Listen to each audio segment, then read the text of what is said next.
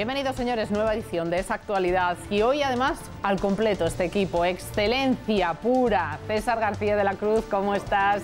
José María Ruiz, un placer. Julián Bejarano, encantada por este lado.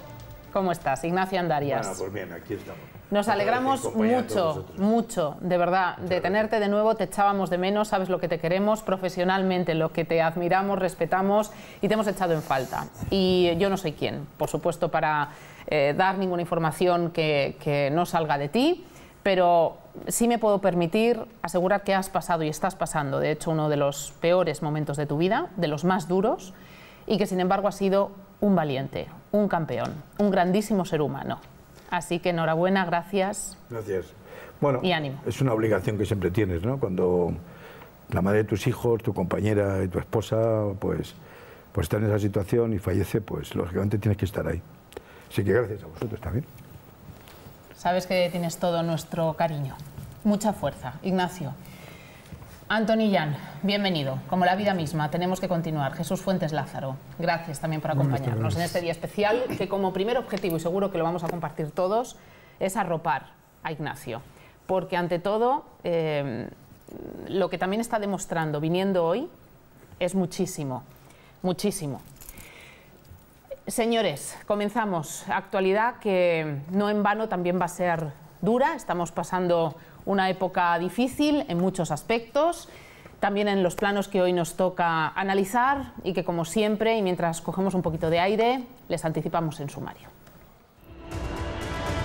El presidente del Gobierno, Mariano Rajoy, tomó la palabra en el debate de la moción de censura presentada por Podemos para replicar a Irene Montero, lo que hizo que el candidato Pablo Iglesias no tomara la palabra hasta las 12 y 20 de la mañana, más de tres horas después de iniciarse el debate y solo después de Mariano Rajoy. Al anunciar que subía a la tribuna de oradores, los diputados del PP aplaudieron a Rajoy con fuerza tras la bronca y larguísima intervención de la portavoz de Podemos. Rajoy ha calificado de parodia y espectáculo la moción de censura y afirma que Podemos necesita que las cosas no vayan bien porque si no, no existen. El índice de precios de consumo IPC ha bajado siete décimas en mayo, situándose en el 1,9% debido al abaratamiento experimentado por los carburantes y los viajes. Con el dato publicado el pasado lunes por el Instituto Nacional de Estadística, INE, que confirma el que adelantó el pasado 30 de mayo, la inflación suma ya nueve meses en positivo, aunque se sitúa por debajo del 2% por primera vez este año. Los grupos que más han influido en esta moderación han sido la energía y el turismo. El presidente de la Generalitat, Carles Puigdemont, ha concretado esta semana su deseo de celebrar el próximo 1 de octubre un referéndum sobre la independencia de Cataluña con la siguiente pregunta. ¿Quiere que Cataluña sea un Estado independiente? Por ahora solo es un proyecto porque el acto para anunciar la fecha y pregunta de la consulta, por mucho que lo pintaran solemne, solo era un anuncio y hasta poner las urnas hay mucho camino que recorrer, comprarlas, obtener un censo válido y aprobar la ley catalana de desconexión con la que pretende avalar el proceso. Todo sin que el Estado intervenga, porque aunque el portavoz del Gobierno, Íñigo Méndez de Vigo, diera perfil bajo a la noticia, avisó de que cualquier actuación que pase de los anuncios a los hechos será recurrida por el Gobierno ante el Constitucional. La Generalitat esperará hasta el último minuto para dar amparo legal a la propuesta con la idea de evitar el zarpazo del Estado. El desmontaje del viejo sistema de partidos avanza en Francia. El presidente Emmanuel Macron dio el domingo un paso decisivo hacia la mayoría absoluta en la Asamblea Nacional. Los candidatos de su partido, la República en Marcha, LRM, fueron los más votados en la primera vuelta de las elecciones legislativas. La victoria, empañada por un nivel de abstención récord, les coloca en una posición óptima para salir elegidos en la segunda vuelta. Y en Venezuela, Enrique Capriles criticó en una rueda de prensa celebrada el lunes que José Luis Rodríguez Zapatero, que actuó como mediador en el diálogo entre el gobierno y la oposición, llegue ahora al país sin ofrecer información sobre sus visitas. El diálogo político entre el gobierno y la oposición venezolana comenzó en octubre de 2016 y tuvo la mediación del Vaticano y de los expresidentes Leonel Fernández, de República Dominicana, Martín Torrijos, de Panamá, y Rodríguez Zapatero. La oposición abandonó las conversaciones después de poco más de un mes tras acusar al chavismo de incumplir los acuerdos alcanzados. Estos son algunos de los temas que recogemos esta semana en esa actualidad. Me hago eco de titulares de los principales diarios para sintetizar lo que ha acontecido prácticamente hasta el inicio de este programa en cuanto a la moción de censura se refiere. Según ABC, Rajoy convierte la moción en una dura censura a Iglesias. La razón, censura a Iglesias. Utiliza los mismos términos. Para el país, Rajoy entra al duelo de protagonismo con Iglesias. El mundo, Rajoy atrapa a Iglesias en el referéndum de Cataluña. La vanguardia lo resume así. Rajoy planta cara a la dura reprobación de Podemos. Al final, toda la prensa coincide casi en un enfrentamiento de tinte más personal entre Rajoy y Pablo Iglesias, un versus PP. Eh, Podemos, no sé cómo lo habéis vivido vosotros, en cuanto al resultado se refiere, pues poco que añadir, puesto que ya era eh, más que sabido antes incluso de la eh, celebración de, la moción, por tanto, bueno, sabemos que es infructuosa, no puede salir adelante, no hay viabilidad. Como candidato se presentaba Pablo Iglesias, pero sin opción ninguna. Nos centramos en detalles, intervenciones, eh, debate. Antonio, si quieres, vamos contigo, que sé que pues has seguido muy de cerca todo lo que ha ido pasando. Los que tenemos tiempo para seguir los debates, si quien está trabajando por las mañanas no puede estar atento a la televisión. Bueno, y otros aunque no trabajen no quieren. decir, bueno, pero a mí me interesaba, como aquí lo íbamos a tratar, pues por aquello de no hablar a, tontas y a locas, que es algo muy habitual en muchos sitios, pues sí, la verdad que los he seguido mm, prácticamente en su totalidad. ¿no? Y yo creo que es la moción de censura mm, va a dar mucho que hablar y quizá mm, en un futuro no, demasiado lejano, se pueden sacar conclusiones muy interesantes incluso de los números. Y los números es que, que los noes, quiero decir, los que apoyarían a Rajoy, no llegan a 176, se han quedado en 170, con lo cual sería posible en, una, en otra moción de censura eh, aunar más números y poder echar a Rajoy y al Partido Popular del gobierno. bueno, bueno, es que también se ha dejado abierta la posibilidad de una siguiente moción de censura, pues hablando, en las, siguiendo las intervenciones del, del candidato del, del, PSOE, que ha hecho bastantes guiños al entendimiento con la izquierda, por poner un ejemplo. ¿no? Y yo lo que no había oído nunca en el Parlamento, no se había oído nunca algo igual, no era una descripción pues tan ajustada del estado de corrupción del partido gobernante.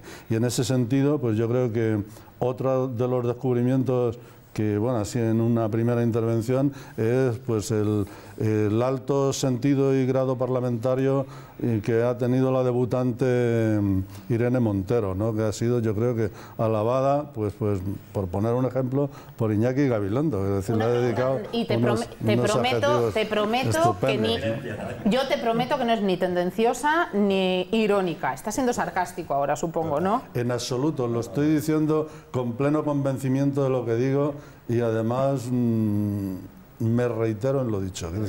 estoy de acuerdo con Gabilondo en que para mí también ha sido un descubrimiento parlamentario la, la forma y el fondo del discurso de Irene Montero. Me he quedado de lado con la opinión de, don Antonio, que con el cual yo coincido mucho cuando hablamos de temas sociales. La verdad es que suele estar alineado en lo que él dice, porque eh, creo que las reformas que ha hecho el Partido Popular eh, y también el Partido Socialista, pues la verdad es que no, para mí no han sido las más adecuadas, ni muchísimo menos. Pero de ahí a considerar a la señora Montero como un paladín de la, del verbo, pues yo creo que no. Yo creo que hay muchísima diferencia. Esta señora ha sido destemplada, ha estado hablando como destemplada que lo, hace, em, que, lo, ha procurado ser cara a la galería, no ha hablado un Parlamento, no ha hablado de una moción de censura dirigida a un gobierno con un lenguaje y unos eh, datos eh, que fueran, em, em, vamos, eh, contrastados y contrastables a través de un análisis económico, político. No, lo que ha hecho ha sido dar voces con cuatro, cinco, seis lemas que son ellos los que están constantemente machacando cara al que está viendo la televisión. Eso no es un parlamentario. No es ni muchísimo menos el, lo que debería de ser un parlamentario, que normalmente vienen a ser alabados por la finura de su discurso. De finura, nada, muy tosco, muy brusco, muy bronco. La forma que ella tiene de expresarse. Después ya los otros tampoco es que hayan estado, eh, inmediatamente le ha seguido la zaga y debe ser que alguien habrá pensado que se pueden conseguir con ello muchos réditos. Pero ella, que fue la primera en hablar y, en esas dos horas primeras que ella eh, introdujo el debate, me parece que fue eh, demasiado, demasiado no violenta y demasiado em, brusca en su y, además de una forma em, incluso podemos decir soez de presentar las cosas y a mí, desde luego, no me agradó, con independencia de que luego haya una serie de cuestiones que tiene toda razón de este mundo, pero mm, el pensar que tenemos un parlamentario fino, un parlamentario mm, que vaya a tener carrete, que nos vaya a alumbrar con sus discursos, en la señora Inés Montero, vamos, yo para mí em, estoy muy lejos de, esa percepción. ¿Piensas que ese análisis, que no sé si es eh, coincidente o no con tu opinión, eh, es fruto de no tener más recurso que esa forma de parlamentar o eh, es estrategia de Podemos porque están acostumbrados a emplear ese lenguaje de calle, de, altavoz. la estrategia brilla por su ausencia y quería decirle a mi querido y respetado Antonio que hablar en cantidad no es hablar con calidad. Entonces, yo creo que esta mujer lo que ha pasado ha sido dos horas hablando, mm, no sé a quién se dirigía, porque desde luego al pueblo español no se dirigía, porque no, hemos visto medidas, no hemos visto iniciativas políticas de gobierno, es decir, ha sido una intervención, yo diría, que vacía de contenido. Y por otra parte, recordarle al señor Iglesia, ahora que, le toca a él un poco eh, el zasca mío personal, y es que a veces en la empresa decimos que ser primero, no todo el mundo vale para ser primero él ha perdido la oportunidad de ser segundo, no la aprovechó en su momento porque él no, quiso pactar con el Partido Socialista en su momento, tuvo la oportunidad de ser seguramente algo grande dentro de la política nacional y yo creo que ha perdido la oportunidad, perdió la oportunidad de oro y en este momento lo que ha hecho ha sido refrendar que no tiene ninguna posibilidad políticamente hablando de llegar nunca a ser ni presidente ni vicepresidente del gobierno. Ignacio, la de cosas que han pasado desde el último día que estuviste. Y en tu partido, fíjate, fíjate, carrera a las primarias, victoria nada esperada, por lo menos hasta los últimos momentos, de, Pedro Sánchez, que por cierto, ¿cuál era tu candidatura? La de la Pedro Sánchez, de mi candidatura del Partido Socialista. Bien, entonces tú estás de celebración, de enhorabrua. Empezamos un tiempo nuevo. Yo bueno, nuevo, nuevo... Es un tiempo nuevo, es decir, el socialismo... Empezamos un tiempo nuevo en el Parlamento en el mundo parlamentario y empezamos un tiempo nuevo en la propia sociedad. Yo creo que somos la izquierda, es decir, el Partido Socialista nunca ha dejado de ser izquierda. El único problema es que nuestro copyright ha querido ser aprovechado por otros partidos que están legítimamente. Yo ceñiría o resumiría que ha habido mucha censura pero poca moción. Yo resumiría así la, la, participación parlamentaria que ha habido. Pero también es más cierto que en un principio la censura, la moción de censura, parecía que no iba a despertar ningún tipo de apaviento, ningún tipo de, sensación de participación y ha sido una sorpresa agradable en cuanto a que muchísima más gente de lo esperado está pendiente de, la censura. Y los partidos que no hemos apoyado o que nos hemos abstenido en, esta, en la, moción de censura, es cierto que este gobierno necesitaba ser censurado, fundamentalmente por la actitud, el comportamiento adoptado en los seis años que lleva de legislatura. Entonces, hemos vuelto a recuperar otra vez la ilusión en el ciudadano para que efectivamente el Parlamento sea el reflejo de la soberanía popular, donde efectivamente se digan las cosas tal y como son, que no se tenga miedo a decir las cosas como son.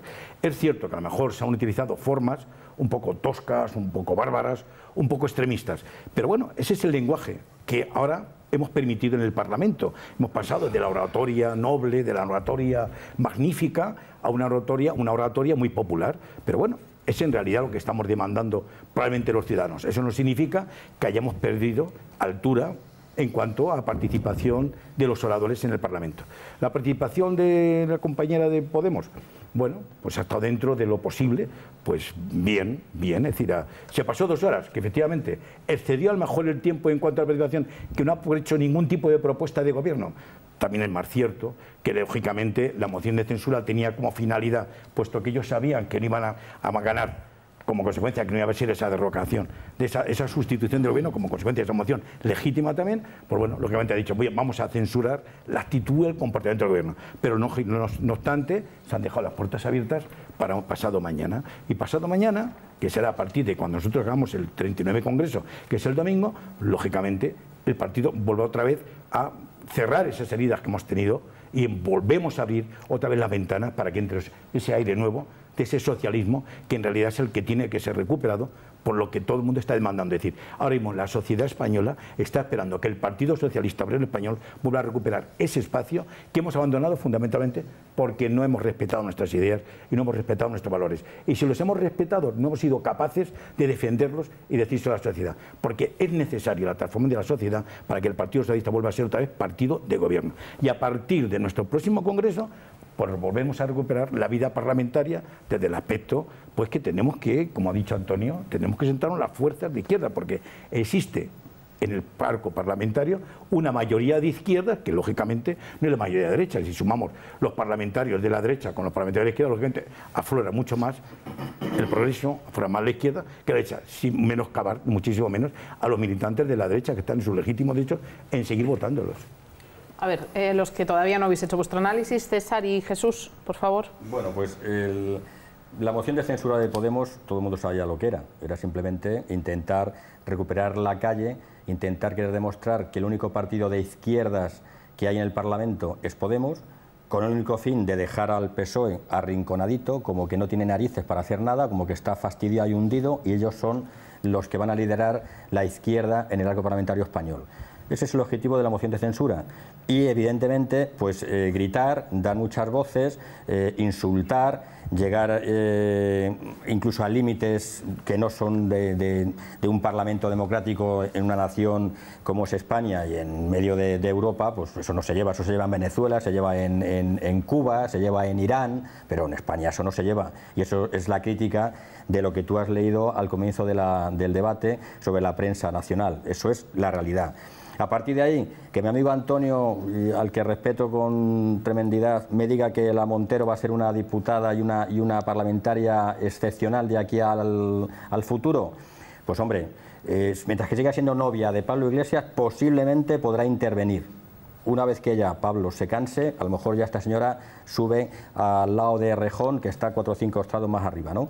Por lo tanto, hay poca, eh, eh, hay poca consistencia en Podemos. O sea, ellos lo que pretenden es que España vaya mal, que la economía no funcione, que el IPC se, se suba por las nubes, que ya no se hable de desempleo sino de crear empleo. Me gustaría pues, que España fuera fatal para poder sacar a la calle ese discurso que les llevó a tener los 20 que sacó, porque Podemos sacó 20, luego con mareas, con izquierdas radicales de Valencia, de, eh, gallegas y catalanas, pues está en el Parlamento con 70 diputados, pero realmente Podemos en sí es como Izquierda Unida en sus mejores momentos.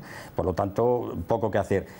Referente a la intervención de Rajoy, Rajoy lo que hizo es que, como es el primer espada del Partido Popular, salir a decirle a la señora Montero, oiga, que aquí estoy yo, o sea, que no venga usted aquí a decir que mi partido es un partido corrupto, cuando sí que es cierto que el PP tiene una bomba dentro de su partido que le va a costar un millón o dos millones de votos, sin ninguna duda, que es la corrupción. Pero hay muchos votantes del Partido Popular y muchos políticos del Partido Popular que trabajan todos los días y no son corruptos. Muchísimos políticos del Partido Popular que están en primera línea no son y corruptos. es una lacra que no solamente afecta al Partido Popular. Es que eh, yo, para no entrar en el juego ese de y tú más, evidentemente el Partido Socialista tiene un problema enorme de corrupción, enorme, y lo ha tenido toda la vida. El Partido Popular tiene un problema ahora enorme de corrupción y le va a costar los votos al Partido Popular y a lo mejor le cuesta hasta al gobierno, pero eso se lo busca se lo buscan los corruptos que hay dentro del partido. Pero nadie, ninguna sentencia judicial dice que ahora mismo el Partido Popular sea un partido corrupto. No la hay, por lo tanto, mientras no la haya, el único partido que en España tiene una sentencia judicial firme que decía que era corrupto era el Partido Socialista. No, eso no es cierto. Y es, sí es cierto, sí. sí, hombre, claro que sí. Lo para que la memoria, la memoria de nuestro... Un segundo. No, no, es cierto, César, es que no te puedo permitir que digas eso. Un segundo. No es cierto. Nunca se ha investigado al Partido Socialista, nunca como partido la única que está investigado es el Partido Popular. El Partido Socialista no es así, ¿cierto? no. y los, no, lo sabemos, los, los de nuestra edad, de nuestra edad para arriba, se lo saben. los, Demás, los demás no se lo saben porque son los que votan ahora Podemos. No, los demás saben igual que todos los demás, pero no y, y, continuando y termino ya, termino enseguida. El Partido Socialista, ahora a partir del domingo que tiene su Congreso Nacional, lo que va a hacer va a ser la línea que traía antes de que a, a Sánchez le quitaran del medio, y es intentar acercarse a Podemos lo más posible con disimulo con tranquilidad para no jugarse otra vez la Secretaría General, pero lógicamente lo que va a hacer va a ser pegarse a Podemos para llegar a, presentar una moción de censura, porque estos, hasta que no consigan el gobierno, no vamos a parar de tener mociones de censura. O sea, dentro de tres meses ya están eh, pensando hacer otra, para, el, para después de para Navidad o por ahí. O sea, que esto va a ser, pues eso, una, una, el, que no, el que no gana en las urnas lo intenta ganar fuera de las urnas. Y en España las únicas mociones de censura que ha habido han sido de izquierdas. La derecha siempre ha respetado las urnas y siempre ha respetado el, el, que se cumplan las... El land en marcha dentro del Partido Popular, no, no hizo una moción de censura. ¿Cómo que no? ¿Cómo que bueno, escucha, la hizo, la hizo y se fue con el PSOE. La hizo y, fue, se fue con el PSOE. No sé, porque va a seguir con el PSOE. Te toca, Jesús. No se ha ido nunca con el PSOE, hombre. Sí, sí, sí. A Hernández Mancha le costó la moción de censura pues la voz atiplada aquella con la que la defendió, que aquello le costó ¿Y dónde, acabó, ¿Y dónde están de Mancha ahora? ¿Dónde están de Mancha ahora? Pues estará en su negocio. En el PSOE no, no, el PSOE no está. Toda la vida, pero si se le ve el plumero. Es que sabes lo que pasa, que hay políticos que hay políticos que no son de ningún partido. Es que estás confundiendo a Bestringe con Hernández Mancha. Si puedo meter la Compañeros, en orden, no se os está escuchando a ninguno. Decía y repito que hay políticos que no son políticos de ningún partido, son políticos, viven de la política. Les da igual estar en el PSOE que en el Partido Popular y si no me voy a, Ciudadanos, si no me voy a, Podemos y si no me he eh, vivido de la, política. Nos centramos, venga Jesús, al tema.